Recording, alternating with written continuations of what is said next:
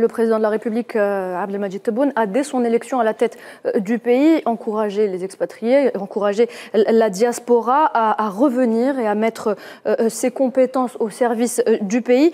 Regardez, on en parle juste après. Je souhaiterais, le,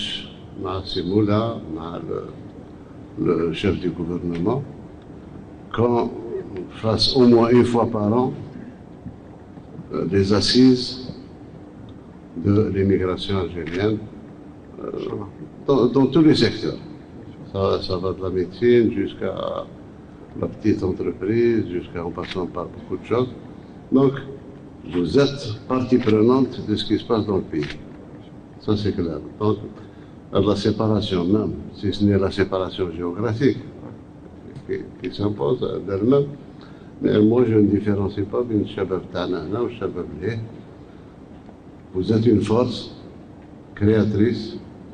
Le pays a besoin de vous. Le pays est à vous. Monsieur le Président, un dernier, mot.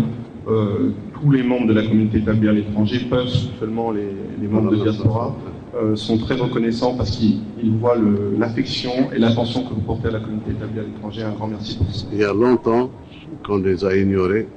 Maintenant, il faut qu'ils sentent qu'ils sont partie intégrante de la patrie. Même s'ils habitent loin, c'est pas grave. Le cœur est là. Le cœur est là. Merci, Merci beaucoup. Il est là, il demeure là. Merci. Merci, Monsieur le Président.